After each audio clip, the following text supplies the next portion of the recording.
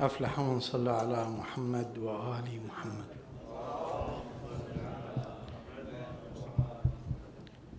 اذكروا شهداءنا وأمواتنا جميعا بثواب سورة المباركة الفاتحة مسبوقة بالصلاة على محمد وآل محمد.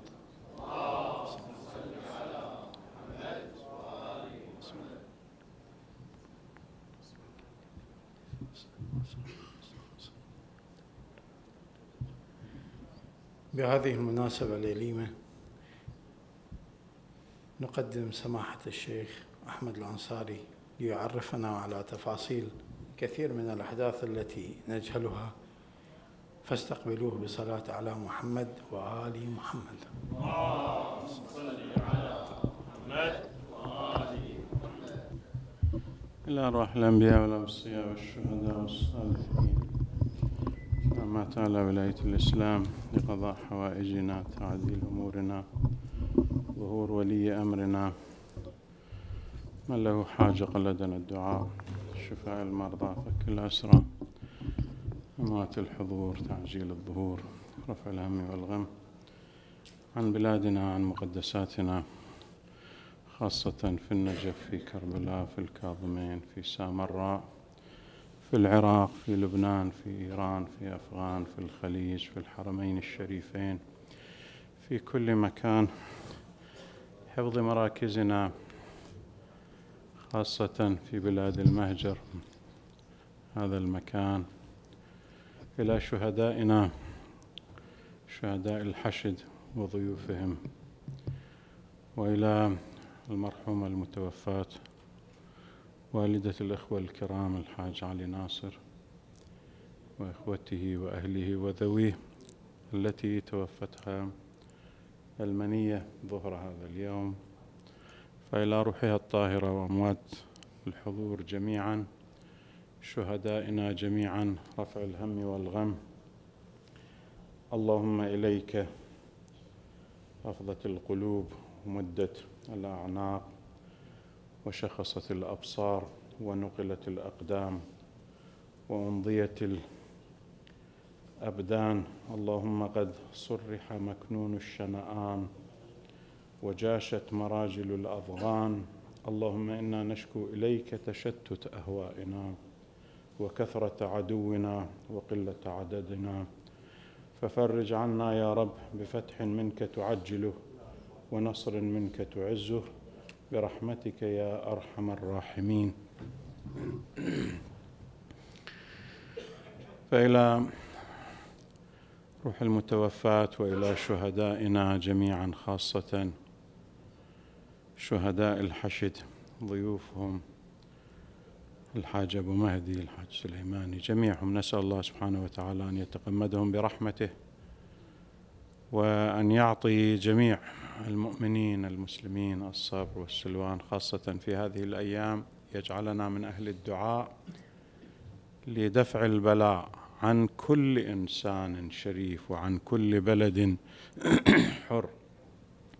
خاصة في بلاد مهجرنا ندعو لأولادنا لشبابنا لناموسنا لبيوتنا فبالنبي وآله ولشرف عقيلة بني هاشم السيدة زينب سلام الله عليها التي تقارن ولادتها هذه الأيام وكان المفروض أنه تعقد مجالس الولادة وإنباءات عن ولادة هذه السيدة الجليلة. فنسأل الله سبحانه وتعالى أن يجعلنا من محبيها ومن سالكين طريقها. بالنبي وآله إلى شرفها الشريف رحم الله من يقرأ الفاتحة. مسبوغة بالصلاة على محمد وآل محمد اللهم صل على محمد.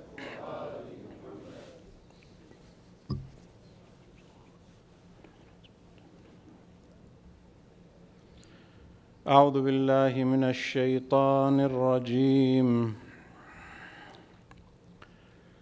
بسم الله الرحمن الرحيم.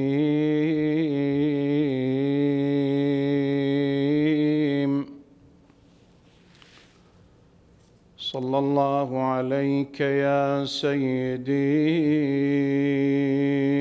يا رسول الله. يا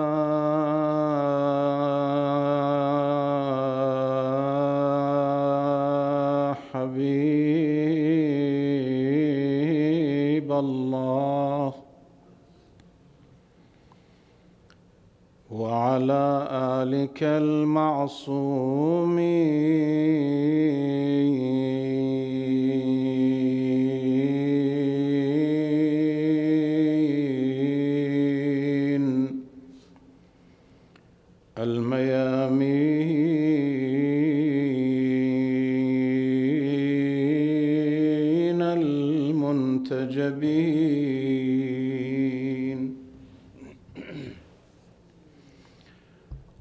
الطيبين الطاهرين.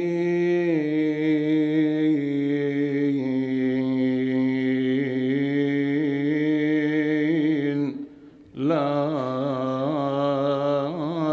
سيما لا سيما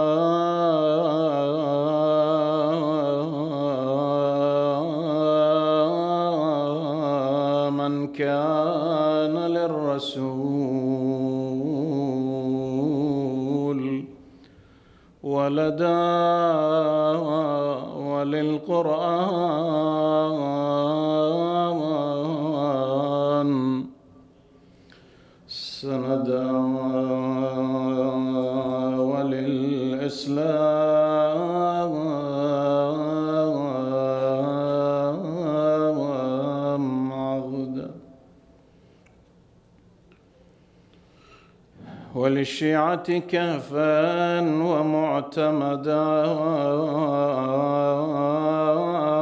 صبط الرسول وقرة عين البتول. الغريب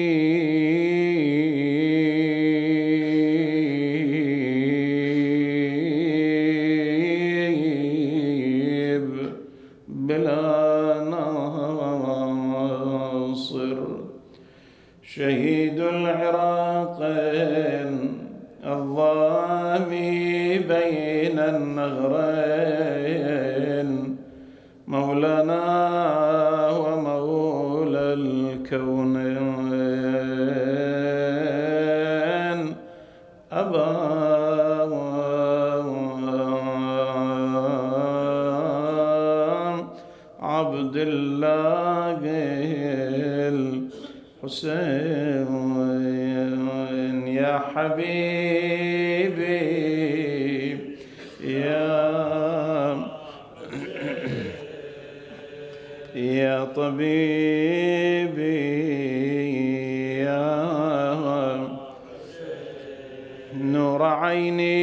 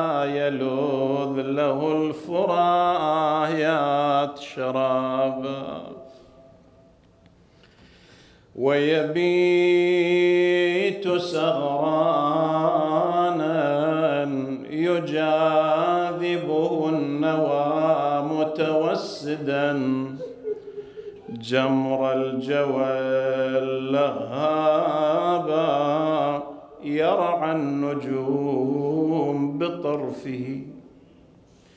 وعيونه عبرا تخط إلى الحبيب. كتاب أحبيب روحي جد علي بنظرة. لا تتركن لا لا يا لا تتركن قلبي يذوب عذابا يا فإذا الأحبة واصلوا زال الأسى. وإذا جفا وزرعوا الفؤاد حرايا. يا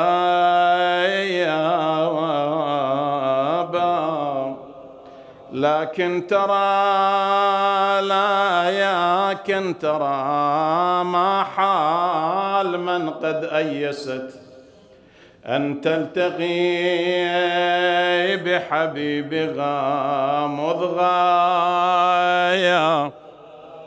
هلا بك يا يا بامم رحل الحبيب رحل الحبيب وطرفه يعلو لغا. والدمع جار حير الألبايا.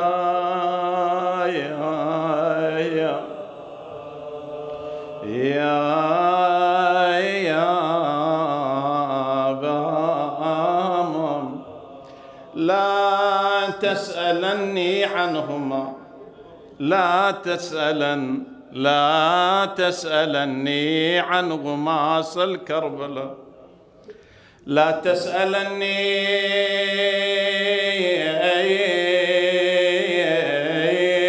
عنهما سل كربلاء عما قضى بفراقهم لتجايا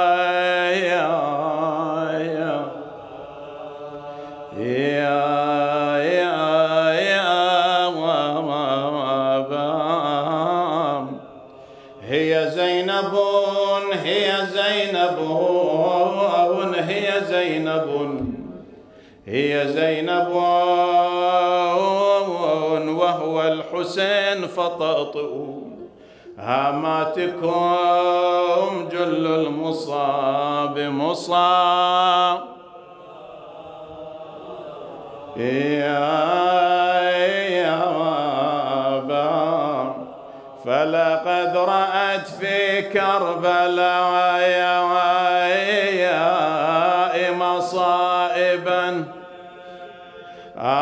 لو صب منها فوق يذبل ذايابا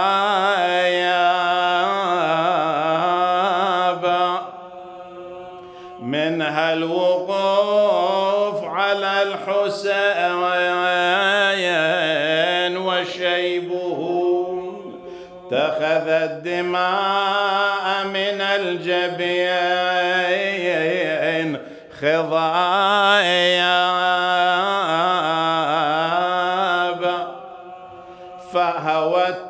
تغسله بمدمع عينها يا قلب زينب كم حمايا ويلت عذاب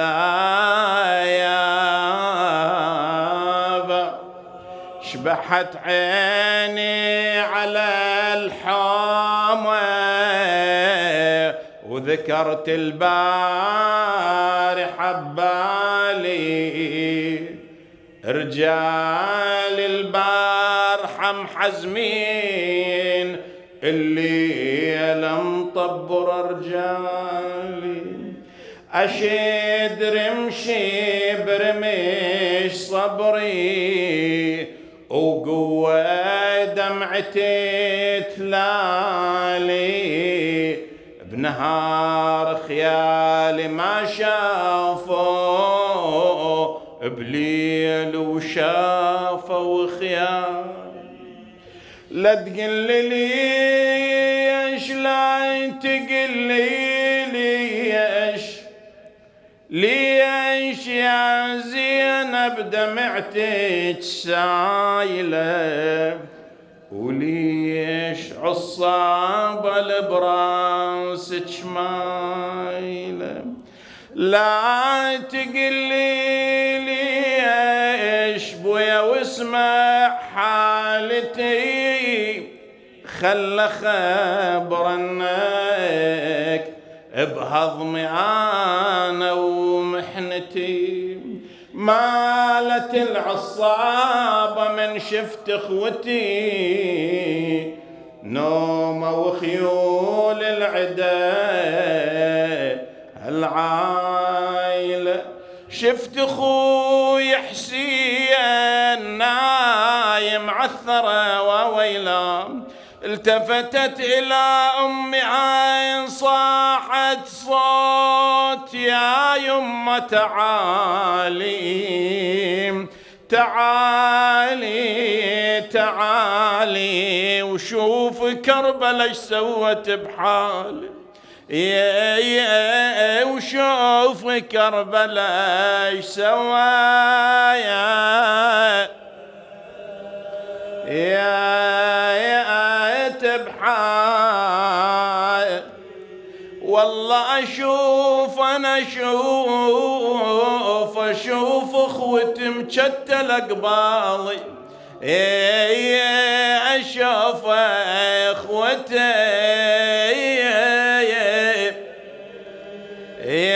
يا مشتل قبالي. عرفني نفسك فإنك إن لم تعرفني نفسك لم أعرف رسولك. اللهم عرفني رسولك فإنك إن لم تعرفني رسولك لم أعرف حجتك.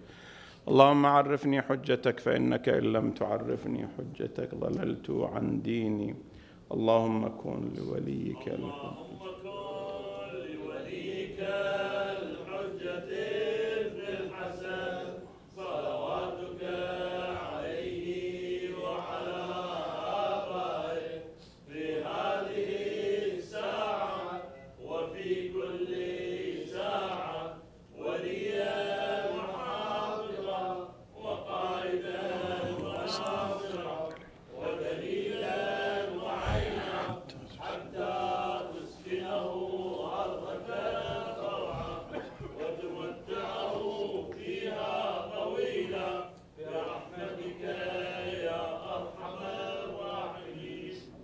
قال في محكم كتابه الكريم يا أيها الذين آمنوا اتقوا الله وكونوا مع الصادقين.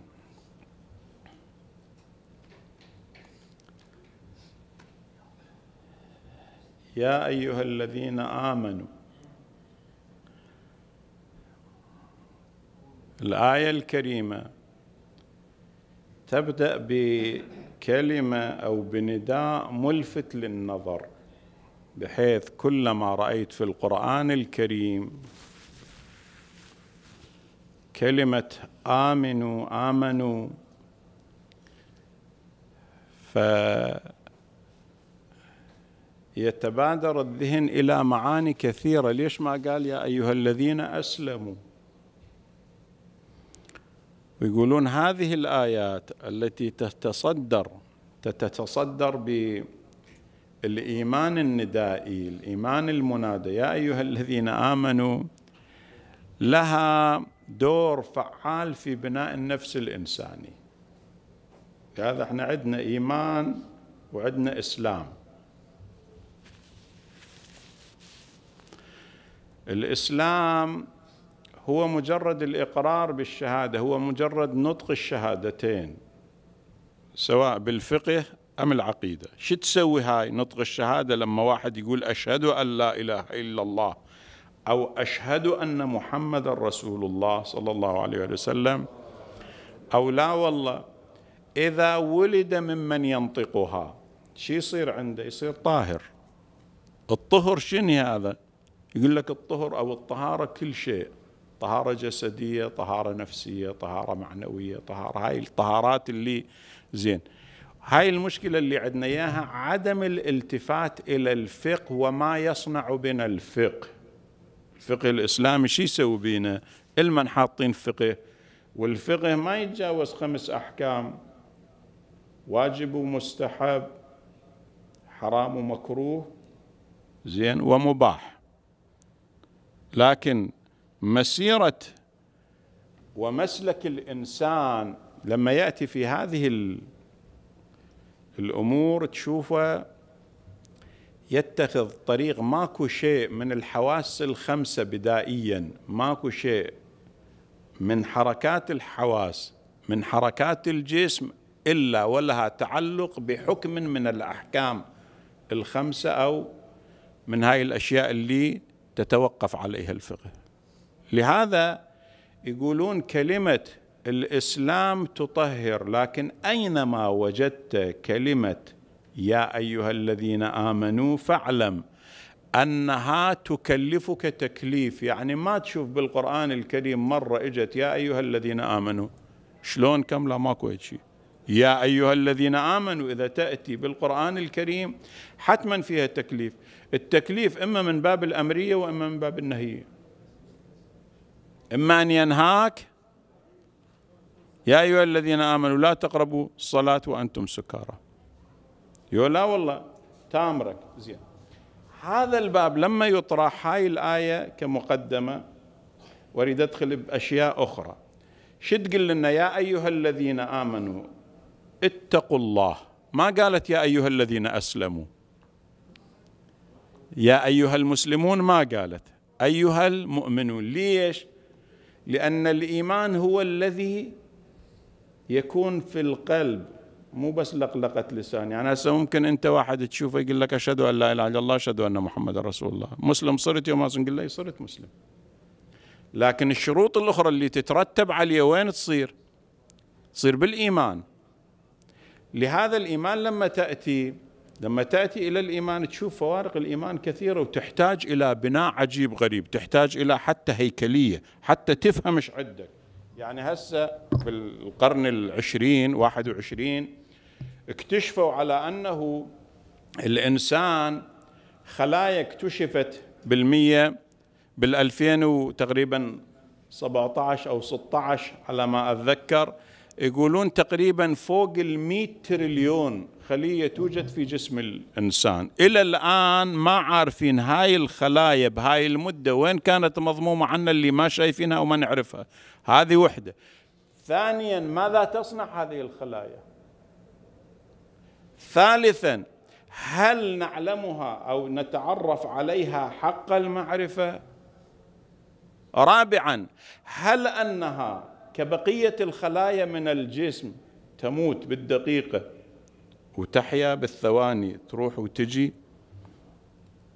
مو الخلايا الجسدية يقولون بالدقيقة تقريبا سبع مليارات وخمسمائة مليون خلية تموت وبدالها تجي. اليوم يقول لك بالثانية تقريبا يولد واحد أو اثنين ويموتون نفس الشيء. بالدقيقة قريب من الثمانين إلى المئة نفر يولد. زين. ضعفهم يجي لعد الدنيا ضعفهم بمكانات أخرى يقتل ضعفهم مكانات أخرى يعني فرد تكوين عجيب غريب اللي إحنا ما نعرفه. كثير من المخلوقات اللي حولنا ما نعرفها كثير من الأجواء اللي إحنا ساكنين فيها ما نعرفها. لهذا لما نأتي شوية ندقق بالأمور نشوف لا بناء النفس الله مخليك بكل مكان أنت كنت تقدر ترتب أمورك. لهذا اليوم يقولون الإنسان اللي يريد يكمل نفسه هل أكو طرق لتكميل النفس يولا إلا أروح للعراق إلا أروح لعد المسجد إلا أروح لعد العالم إلا أروح لعد الكذا. ليش هنا ما يصير وهنا يصير؟ شنو الداعي؟ وين الدواعي الموجودة؟ ليش فلان صار أحسن من فلان؟ هذا عنده مثل ما يقولون شانس وذاك ما عنده. زين. هذا عنده طريقة وذاك ما عنده. وين؟ لهذا لما تأتي إلى القرآن لما نأتي إلى أهل البيت لما نأتي إلى مسؤول التربية الإنسانية وهو محمد المصطفى صلى الله عليه وسلم وأهل بيته الكرام من خلال الكلام نشوف لا بناء الإنسان بناء شخصية الإنسان يقول تتأثر شخصية الإنسان وتبنى من ثلاث محاور من ثلاث طاقات من ثلاث أمور. شنو هذني؟ وحدة منهن الوراثة. يرثها من أبويه. لهذا شقد تشوف إحنا عندنا أحاديث تؤكد على مسألة الزواج؟ مو جيت هنا شلون ما تريد تلعب. لا. أكو أم أكو أبو عندك اسألهم. شوف أكو أشياء. مو كل هذا إهمال. هسه عندك ابنك علمه قل له فهمه وعيه. وإذا ما توعي أنت تخسر. إيش قد إحنا علمنا أطفالنا؟ إيش قد عندنا هذا الباب مثلا مفتوح لعد الأمور؟ زين. إيش قد أنا حابب ابني من يرجع لعد وطنه لعد بلده أو يكون هنا بالوطن اللي هو انولد فيه باب المهجر؟ باب المهجر هواي أصلا هي الهجرة الهجرة من المعاني العالية في الإسلام والهجرة يقسموها على أقسام. الهجرة المكانية من العراق جيت لهنا؟ مكانك تغير. ليش؟ هاي ليش عندها شنو السبب؟ هاي وحدة من ال... الأمور اللي الإنسان يهاجر لها الهجرة المكانية. وبيهم يقولون تستدرج فيها أيضا الهجرة الزمنية. بعد زين عندك الهجرة العقائدية. وبالأسف الشديد إحنا كمسلمين هجرتنا صارت بالتخلي عما عندنا. مثلا أنا عندي عادات ممكن بالعراق بإيران بالشرق الأوسط بالكذا عادات مو حلوة. كثير من الأخوات كثير من الأخوة. هنا يقلب عليها هي العادات بعضها لا مستحسنة بالدين بالتشريع بالحالة الاجتماعية اللي إحنا عندنا أكو عادات عندنا مثلا كثير من مجالسنا كثير من بيوتنا هناك قبل هسه ما ندري إيش صاير ما صاير ما ندري. زين من تجي لعند الإنسان يعني يتأدب لما يشوف أبوه يقوم مقابل جدة أو مقابل الشخص أو يحترم أو كذا أو أكو واحد خطار أكو واحد عم أكو واحد عمة أكو والدة أكو بيبية أكو أبو أكو جد. لما يشوفك أنت كيف تتصرف فحتما هو هم راح يلتزم بهيك شيء. هنا هاي القضايا ماكو. تسلم عليه حتى ما يشيل إيده حتى هاي باي هم بعض هاي هم راحت منه. ليش؟ هاي المشكلة اللي عندنا صايرة هسه كنا نعاني منها. بس ما منتبهين ما منتبهين. هي مو بس مو لا لا بكل مكان صايرة يعني حتى ليش؟ لأنه عندنا مشكلة أخرى وهو المحيط. وراثة ترث الشيء من شخص من بيئة من بيت من عائلة من مجتمع الشيء الآخر المحيط اللي أنت تكبر فيه. المحيط اللي أنت تكبر فيه بلاء ترى بعض الأحيان. أنت ما منتبه. تشوفه واحد يصلي يصوم وبالتمام ودعاءه ما يطيح مثل ما يقول ومسبحته ما تطيح من إيده. ما منتبه على أنه ابنه يمشي ويا من؟ بنته تمشي مع مين؟ هو يمشي مع مين؟ هو شنو من أفكار عدة؟ هل انسلخ؟ بالحزبيات بالكذا بالأمور شو اسمه بالقضايا الاقتصادية الحرام الحلال ما يفرق عنده. لهذا يبتلي الإنسان. هذا من جملة الأشياء اللي تكون شخصية الإنسان المحيط اللي هو يعيش فيه. بعض الأحيان المحيط ما يفيد وأنت ما تقدر تأخذ منه ممنوع. زين إذا شفت هيك أنت تغلب عليه. أنت سو شيء. أنت جر الناس. مو إلا دائما أنت تكون تابع. بعض الأحيان الله مطيك طاقة كن متبوعا. كن قائد أنت. أنت تقدر تأثر على الآخرين. وهذه هواي شفناها عند شباب عند جماعات عند ناس بهاي البلاد وبلادنا هناك. وحدة من الأشياء اللي تجعل المحيط للإنسان محيط سلم زين هو ذكر التوحيد. ذكر التوحيد مو تعال عين للتوحيد كم قسم.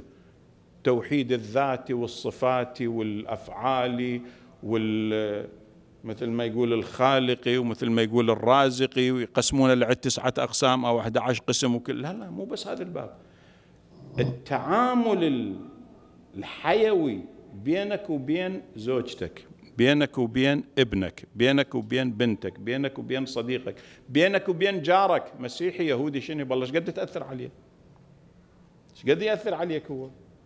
طبعا إذا يأثر عليك ما راح يأثر عليك بالدنيا. أول يأثر عليك بالاجتماع. والله أنت اجتماعيتك إيش قد؟ ليش دائما الإنسان الشيء الآخر التربية. من جملة الأشياء اللي تخلي الإنسان يبني شخصيته يبني نفسيته يبني أموره هي التربية. والله منين ماخذها؟ من أين يتربى؟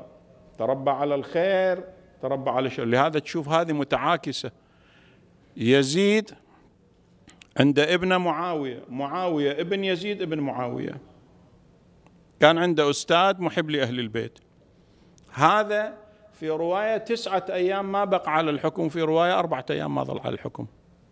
اجت أمة صرخت به قالت يا ليتك كنت كذا وكذا نجاسة يعني وما صرت يا ليتك كنت حيضة. قال اتركيني. أقتل آل رسول الله وأجلس على منبر رسول الله؟ ماذا تريدين مني؟ زين ما إجوا قالوا لها أبوي أنت هذا وين موديته العديان مسجد العلم؟ شافوا لا. الأستاذ المربي ماله زين. لهذا بعض الأحيان الإنسان أو تجي لعد بعض المشركين. مصعب بن عمير أهله كانوا من الأثرياء. وهو كان جميل وسيم حتى اللباس ماله يحسد عليه. شاب يحسد على حتى لباسه. يقول هذا من شاف النبي وأسلم أهل طردوه صار من أهل الصفة. ذول اللي بزاوية من المسجد حطوا لهم مكان وينامون به ويأكلون فيه يا يشتغل أو يلقى شغل لما يلقى له شغل أو شيء يجي يقسمها مع جماعته. مو مثل هسه خمسة أيام ستة أيام يلا يعطونك حقوق. رأسا قبل العامل من يشتغل يعطونه أجرته. فيجيبها الكل كل واحد منهم اليوم إذا حصل شغل يجي يتقاسم لقمته وخبزته مثل ما يقولون مع الآخرين. هذا تركوه أهله. طردوه أهله. كان من المبلغين من أوائل المبلغين للإسلام وكان من الشهداء في يوم أحد. شاب. زين. فقالوا شنو الغاية اللي ترك أهله وترك النعيم وإجا لعد هذا الذل؟ قالوا فانظروا من يصاحب. شافوا بعض أصحابه عجيبين غريبين. عجيبين غريبين هذول وهم لا يتعاطون الخمرة لا يتعاطون الحرام لا يتعاطون لا يتعاطون. زين. أحد أصحاب النبي عثمان بن مضعون. عثمان بن مضعون آخاه أمير المؤمنين. سمى ابن عثمان ابن علي بن أبي طالب وبالزيارة زيارة الناحية وزيارة الإمام الحجة لعمه يقول له السلام على عثمان بن علي. سمي عثمان بن مضعون مو عثمان بن عفان. لا ليش؟ إيش عنده هذا؟ هذا كان من الأثرياء. والثري عادة إذا يكون إنسان ثري يكون يبذل المال شوي على الخمر على الفساد على الكذا. هذا يقول والله لا. أدخل فمي أو بطني شيئا يزيل عقلي. اذا نشوف وين توصل. بعض الأحيان الأمور إذا تصير أنه كيف أربي أبنائي كيف أربي نفسي وين أوصل؟ لقمة الحلال إيش قد عندها تأثير؟ لقمة الحلال مو معنى أنه ترى لقمة الحلال والله هذا خنزير وهذا. لا لا لا. اجت امرأة للنبي صلى الله عليه وسلم قالت يا رسول الله لقد جئتك بطعام بطبخة طبختها بيدي والله كانت من كد يميني وعرق جبيني فإنها طعام لذيذ طيب حلال طيب. قال أما الحلال فنعم وأما الطيب فلا. قالت ولم يا رسول الله ليش؟ مو طيبة؟ قال لأنك تأخرت عن صلاتك بسببها. الطيبة تروح منها بتأخير الصلاة. إحنا يا صلاة مصلينها يا بلاء اللي ما مسوينا. بعض الأحيان هسه خذ شوف تريد يطبخ يريد يسوي له شيء يو التليفون بيده يو الحكي بيده يو ما أدري شنو بيده. يا عم هذه ما تصير هذه عندها تأثير. اليوم تأثيرات النفس الإنساني عجيبة وغريبة. هسه هناك اكتشفوا هاي الغدة. غده الذاكرة يقولوا لها مثل الغدة الصنوبرية. هذه هذه مخزن ما أدري عشر ملايين ميجا بايت تتحمل هذه بحيث يقولون إذا مليون إذا عشر منها امتلأ يحتاج إلى 315 أو 50 سنة الإنسان يكون واقف بس يفتح الصفحات ويقرأ يا الله يقدر يطالعها. هاي الذاكرة اللي الله مطيك إياها شو؟ ما ما نحفظ لنا حتى اسم ما نحفظ وكنا مبتلين.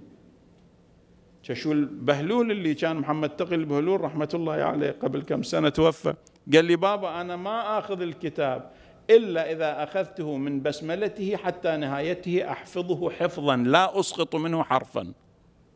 ليش؟ وحدة منهن قال الأم والأب عندها تأثير. إيش قد مأذين أمهاتنا وأبهاتنا؟ بعض الأحيان الأذية نقول يعني ضرب بعض الأحيان يعني صار. لا لا عمي بعض الأحيان الأم والأبو يحب يسمع صوتك يحب يشوفك. يحب يشوف منك هيك شفت شيء عجيب غريب. زين؟ لهذا درجة الإنسان بالجنة يقولون تتقسم. الدرجة الأولى درجة النبيين على رأسهم محمد سيد الأنبياء والمرسلين. الدرجة الثانية درجة الصديقين الدرجة الثالثة درجة الشهداء الدرجة الرابعة درجة الصالحين. من كانت له ثلاث صفات فهو من الصديقين. الصديقين ياهم علي بن أبي طالب الصديقين ياهم فاطمة الزهراء الصديقين ياهم مريم سلام الله عليها. الصديقين ياهم الحسن والحسين الأئمة المعصومين. ذول الصديقين يقولوا لهم مو كل واحد يصير صديق. ذول هم لأنه نازلين عندهم درجة عن محمد وإلا هم نفس محمد هم بطبق النبي صلى الله عليه وسلم. زين؟ فيقول من كانت له ثلاث صفات فهو من الصديقين. الآية شو تقول؟ يا أيها الذين آمنوا اتقوا الله وكونوا مع الصادقين مو الصديقين الصادقين. عندك درجة يلا توصل لعند الصديق. الصديق شنهي الصديق ما عنده شيء أنه ضال ما يعرف عنه. حركته سكنته كل أموره مضبوطة. صديق. لهذا من صفات أمير المؤمنين هو الصديق. هو الفاروق الأعظم. شالوه نطوهن إلمن لعد جانب ما يصير. الصديق يكون كذبة وحدة ما مكذب. الصديق يكون ولا مرة ولا لحظة يغفل عن ذكر الله.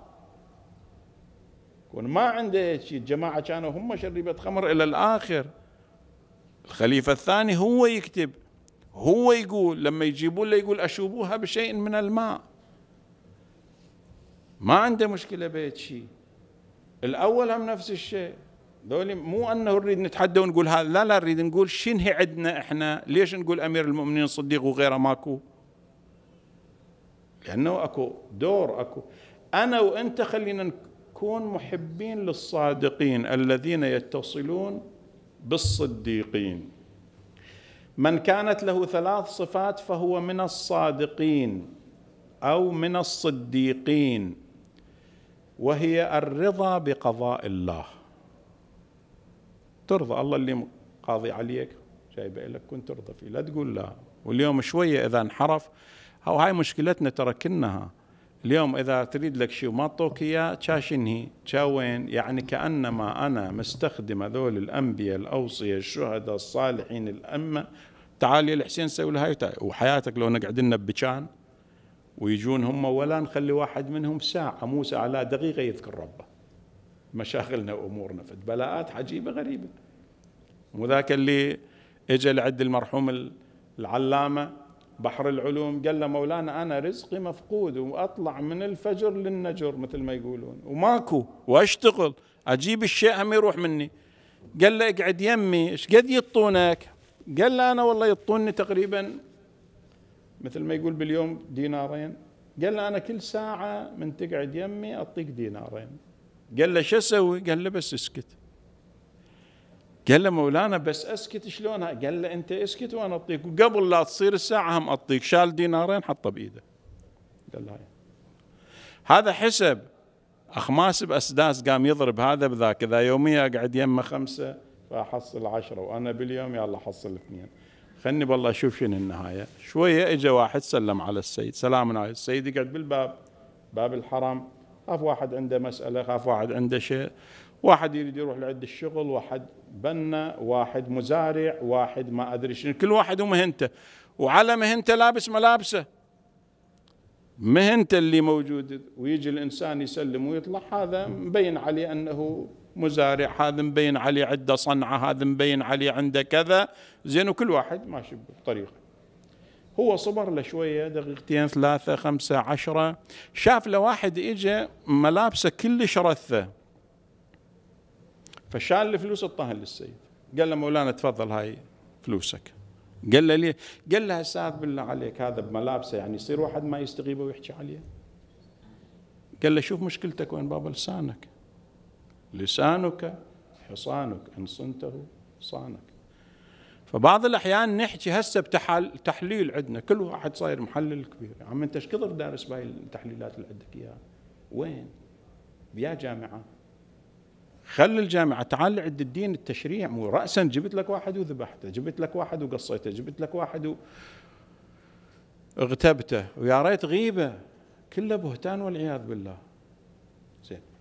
لهذا لما نأتي إلى هذه الآية أيها الذين آمنوا اتقوا الله وكونوا مع الصادقين. فنأتي نقول زين هذا الكلام موجود والإنسان عنده هاي الأشياء.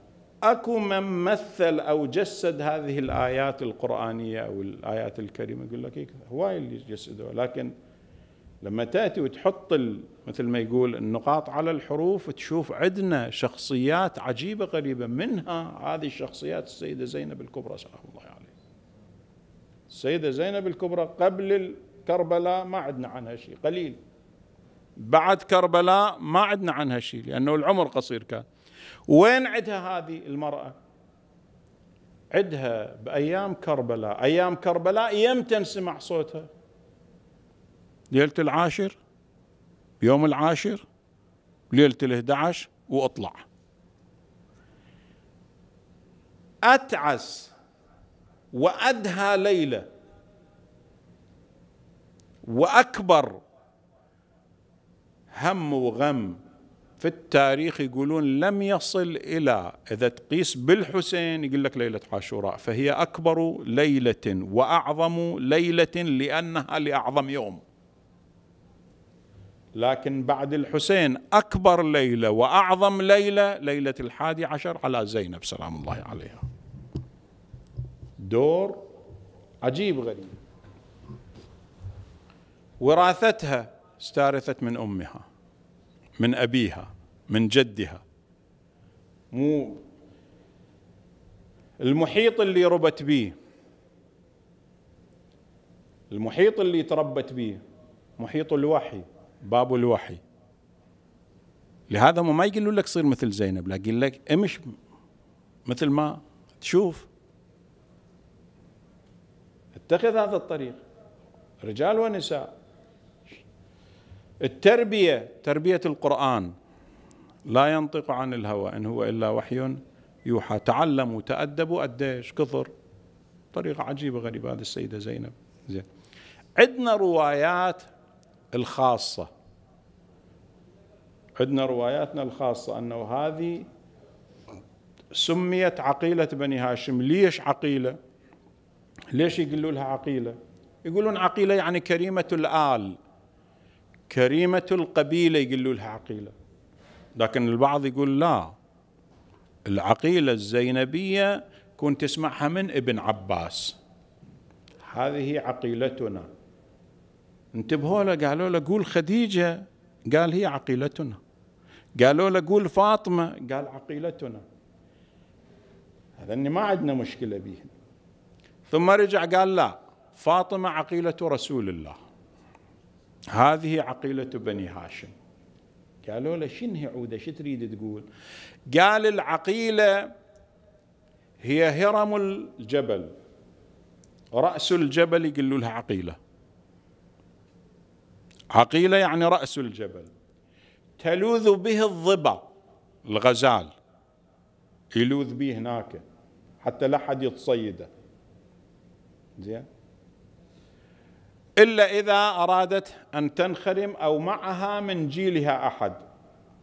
فالسيدة زينب لولاها لما بقى للحسين أو لزين العابدين أثر وكان يحوط بها أكثر من ثمانين نفس من يتيم ويتيمة وأرملة وحجة وحجة الله الإمام السجاد عليه السلام.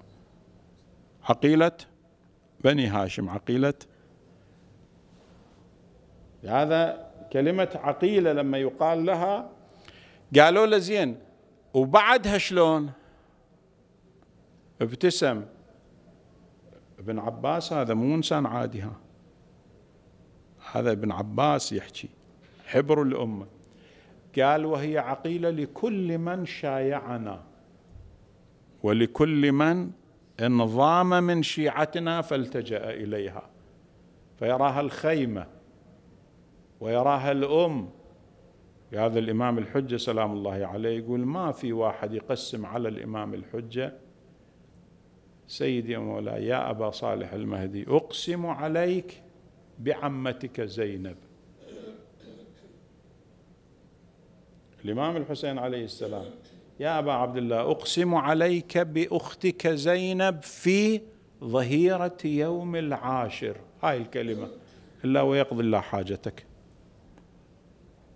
شنو هذه؟ إيش سوت؟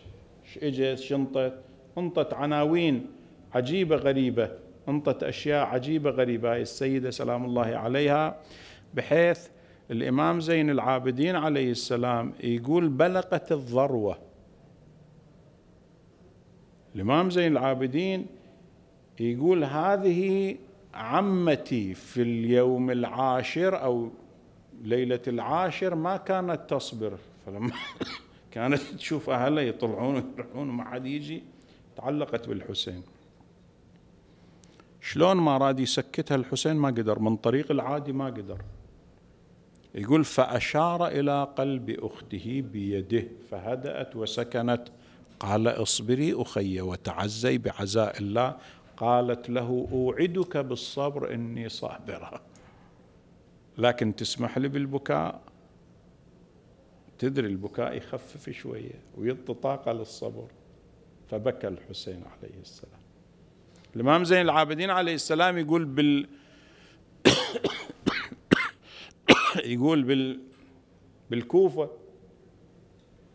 بالكوفة لما وقفت عمتي زينب لما وقفت عمتي زينب فأشارت بيدها فرأيت يدها بإشارتها إشارة التصرف.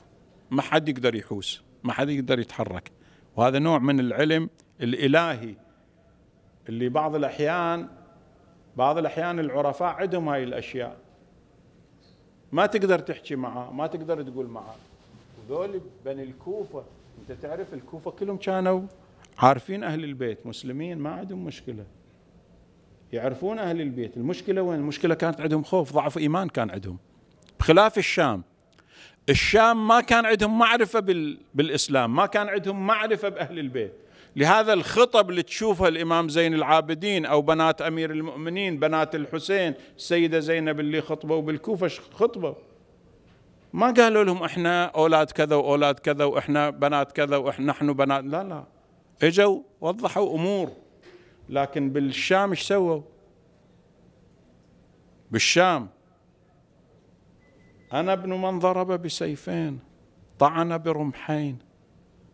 الإمام سلام الله عليه أعطينا ستا فضلنا بسبع. السيدة زينب أظننت يا يزيد حيث أخذت علينا أقطار الأرض وآفاق السماء فأصبحنا نساق. كما تساق الأساق. إن بنا الله هوانا وبك عليه كرامة. وإن ذلك لعظم خطرك. عنده فشمخت بأنفك. لكن وين الشكوى لما تجي السيدة زينب؟ سلام الله عليها. من تجي وتشتكي وين تشتكي؟ زين؟ وهاي الأشياء اللي تذكر بالكتب بالتاريخ. بهجرتها هي قلبت الموازين كلها. وبعض الأحيان الشخصية لما تبنى على حقيقة ولما تبنى بناء قرآني محيط قرآني. يا عمي دور القرآن ببيوتكم ما فيك تقرأ دورة. هاي الانت شو اسمه على الإنترنت موجود. على الكمبيوترات خو موجود على التليفون خو موجود عنده تأثير. يقول واحد شايب ما يحفظ قرآن. ابنه قال له بابا شو الفائده كل ساعة وتختم القرآن وانت ما تحفظ؟ قال له بابا أخذ هاي السلة غسلها جيب لي بيها مي. الطفل يعني يافع يفهم. قال له بابا شلون؟ قال له روح جرب حد النهار. راح ملاها وإجا قال له بابا ما يوقف بها الماء قال له مرة ثانية ما يوقف الماء مرة ثالثة قال له ما يوقف الماء. إلى خمس مرات. جابها وإجا قال له بابا ما يوقف الماء ليش تدوخني وتقول لي قال له بابا شلون كانت قبل؟ قال له ننقل بها فحم وسودة كانت. قال له هسه شلون؟ قال له هسه انغسلت. قال هكذا القرآن يقسل درن القلوب. فاسمعوه فاحفظوه. الشيخ المجتهدي رحمة الله عليه من العرفاء توفى قبل كم سنة. الشيخ المجتهد المجتهدي رضوان الله تعالى عليه ما كان أفلح من صلى على محمد وآل محمد. الشيخ المجتهدي من يدخل مجلس ويقرون قرآن يطون القرآن ما يقرأ قرآن. وإذا قرئ القرآن فاستمعوا شلون؟ له وأن صتوا يقول حتى في قراءة القرآن بالمجلس أنت ما تقدر تقرأ قرآن لأنه يكون يصير عندك إنصات للقارئ وأنا أخشى إن قرأت القرآن خالفت الآية. إحنا وين نقرأ قرآن؟ القرآن يقرأ وإحنا مثل ما يقول اللبنانيين إخواننا ندق حنك. طق حنك. هاي المشكلة اللي تصير عندنا. ليش؟ لماذا؟ لابتعادنا عن هذه لهذا السيدة سلام الله عليها. زينب أول هجرة هاجرتها مع أبيها. لعد الكوفة ورجعت. رجعت ويا من؟ ويا الإمام الحسن. ثم الهجرة التي تبنت الأفكار الزينبية الهجرة اللي طلعت مع الحسين من المدينة إلى مكة. من موطن رسول الله إلى مولد رسول الله. هناك كان تهديد بالمدينة على الحسين وبمكة صار تهديد. طلعت وين؟ هاجرت معه إلى العراق. بالعراق إيش صار؟ صار قتل صار شهادة.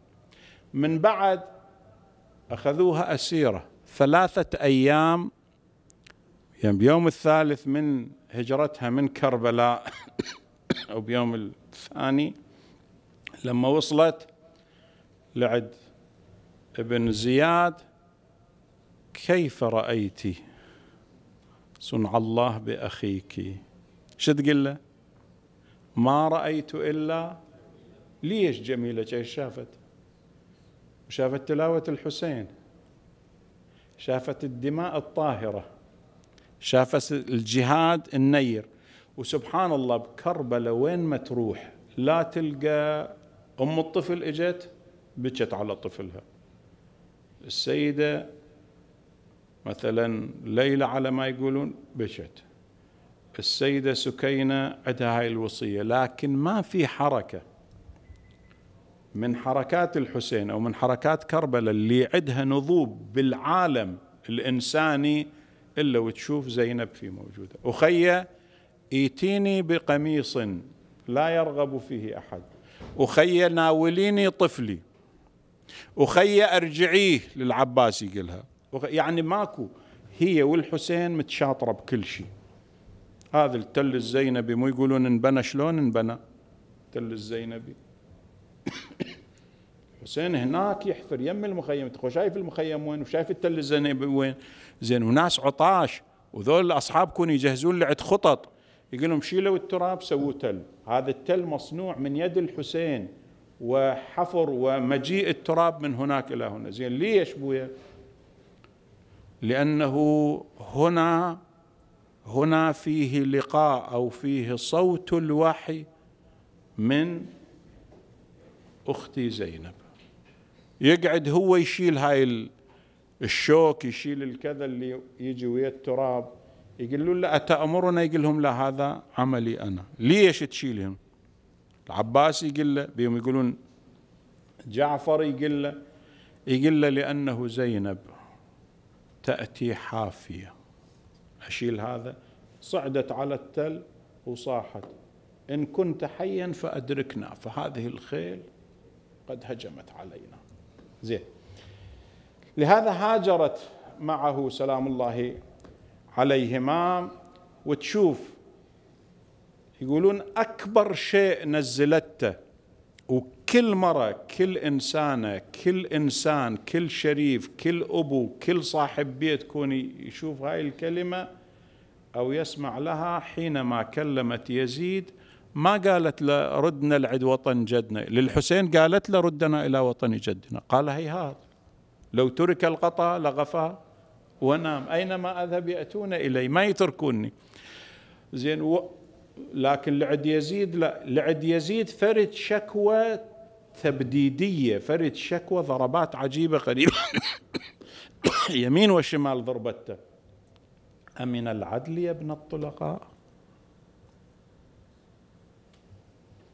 تخديرك حرائرك وإماءك وسوقك بنات رسول الله سبايا قد هتكت ستورهن وأبديت وجوههن. شوف وين ضربة أيها المؤمن أيتها المؤمنة أيها الأخ الكريم تريد تصير أنت في هذا الباب وتريد تصير مع الصادقين؟ يا أيها الذين آمنوا اتقوا الله وكونوا مع الصادقين. شوف بالله وين مع هذا الصادق؟ هذا اللي يعبر عنها الإمام المعصوم بالصديقة الصقرى لأنه تسبقها أمها سلام الله عليها. لهذا أكو روايات عجيبة غريبة في السيدة زينب بكربلاء وخارج كربلاء. هذا يقولون لما الإمام السجاد عليه السلام وقع عصر عاشوراء ما لي أراك تجود بنفسك يا بقية الماضين؟ صاير؟ وإمام معصوم يقولها لقد رأيت رأس أبي. ورأيت ما جنوا على خيامنا فبكت وبكى. قالت نعم هذا سمعته. سمعته. جابت له رواية أم سلمة. لما تسأل أبوها شي يقولها؟ يقولها اذهبي إلى أم سلمة تجي لعند أم سلمة شو تقولها أم سلمة تعطيها توضيح لعند كل شيء. زين؟ لكن هي فرد نوب هي فرد نوب. قريب من الكوفة وإذا بها فقدت قواها. لما فقدت القوى إجتها سكينة إجتها أم كلثوم. أخي عم ما بكي قالت أنبئت بكل شيء لكن بهذا الشيء اللي أشوف يذكرها المرحوم المجلسي رحمة الله عليه زين ويذكرها صاحب ناسخ التواريخ رضوان الله تعالى عليه يقول له كل تقول له كل شيء شفت لكن أكو هسه حادث حدث ما كنت شا ما كنت متصورة. قالوا وأي حادث؟ قالت أن ينشر رأس الحسين برأس رمح ويطاف بين النياغ حتى يحرقوا قلوبنا لكي نصرخ فيسمع الناس أصواتنا. وبكت هذه السيدة الجليلة ونحن في مصائب كثيرة نلوذ بكنفها زين؟ يقول عاد هذه الحالة التي أوقعتها من ناقتها. أو راحت القوة والطاقة منها راحت فنسأل الله سبحانه وتعالى أن يجعلنا ممن يلوذ بكنفهم وأن يوفق في خدمتهم. يقول بعض الرواة لما ولدت فبكى عليها رسول الله يا رسول الله لم تبكي فرحا أم حزنا؟ قال أبكي عليها لما ترى مما يجري. فبكت فاطمة وبكى أمير المؤمنين. احتضنها الحسين قال إن أختي ليس بغشي. فما يبكيكم بكى رسول الله بني حسين ستنبأ عن قريب ما يجري عليك وعليها آه آه آه آه ماما آه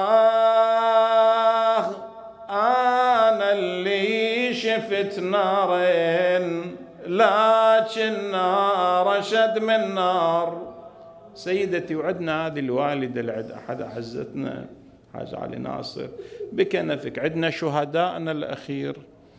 ذول اللي استشهدوا شهداء الحشد الشعبي شهدائنا في كل أمواتنا زي أموات الحضور كلهم بكنفك. إذا يبكي عليك رسول الله في ولادتك. زين فكيف لما يشوفك بهذه الحالة؟ أنا اللي شفت نارين لكن نار أشد من نار نار الحرقة خيامي أو نار حرقت باب الدار. أنا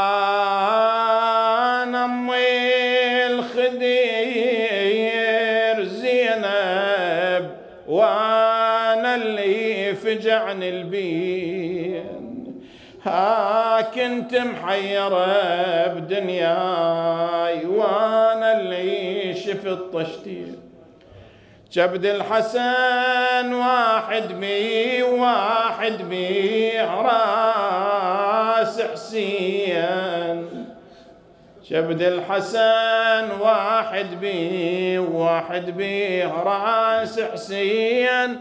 وسهام الدغار قلبي فقد حسين صابا أنا أنا أنا أنا أم الخدر زينب البهل صرت مفجوعة.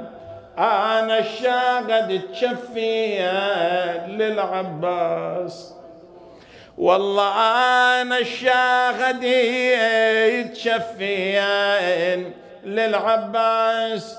مقطوع أنا شفت خي حسين من الرغم ضلوع والله أنا شفت خي حسين يا ويل ورض وضلوعه ولا ظل من علي واحد يجي يمي وحشمن.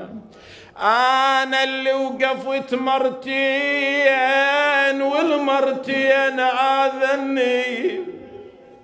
والله وحده بمجلس ابن زياد متشمت نشد عني نشد عني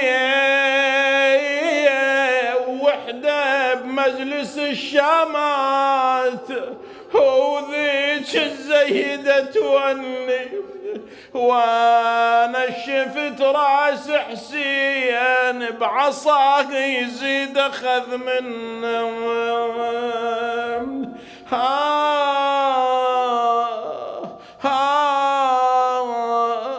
يا يما يا يما تعال وشوف الحسين. رد من لي من الاخو مقطع شفي لما رجع إليها بأبي وأمي شقلها آه شحكي لك يا زينب من رحت يم. لقيت ام الزكية عنده امه واشوف امي بخي حيل مهتمة تشد جرحه وتقبله ونوبل تشم. اللهم بفاطمة وأبيها وبعلها وبنيها والسر المستودع فيها. صل على محمد وآله واحشرنا في زمرتهم. ولا تكلنا إلى أنفسنا طرفة عين أبدا. أرنا الطلع الرشيد والغر الحميده واكحل نواظرنا بنظرة منا إليه. عجل فرجه سهل مخرجه أوسع منهجه. اجعلنا من أنصاره وأعوانه. والذابين عنه والمستشهدين بين يديه. اللهم إليك أفضت القلوب. ومدت الأعناق وشخصت الأبصار ونقلت الأقدام وانضيت الأبدان. اللهم قد صرح مكنون الشنآن وجاشت مراجل الأضغان. اللهم إنا نشكو إليك تشتت أهوائنا وكثرة عدونا وقلة عددنا. ففرج عنا يا رب بفتح منك تعجله ونصر منك تعزه برحمتك يا أرحم الراحمين. إلى روضة شهدائنا من مات على الولاية شهداء الحشد الشعبي وضيوفهم وخاصة إلى روح المتوفات والدة الحاج علي ناصر وإخوانه الكرام. نسأل الله أن يتقمدها برحمته. الإخوة الحضور اللهم احفظهم في بيوتهم في عوائلهم في بلدانهم في حسينياتهم في مراكزهم. اللهم نسألك وندعوك حفظ مقدساتنا خاصة في النجف في كربلاء في الكاظمين في سامراء في العراق في لبنان في إيران في أفغان في الخليج في الحرمين الشريفين في كل مكان. من له حاجة قلدنا الدعاء شفاء المرضى فك الأسرى. وإلى شرف سيدتنا الصديقة الصقرى زينب الكبرى سلام الله عليها. وجميع من مات على الولاية رحم الله من يقرأ الفاتحة. تسبقها الصلاة على محمد وآل محمد.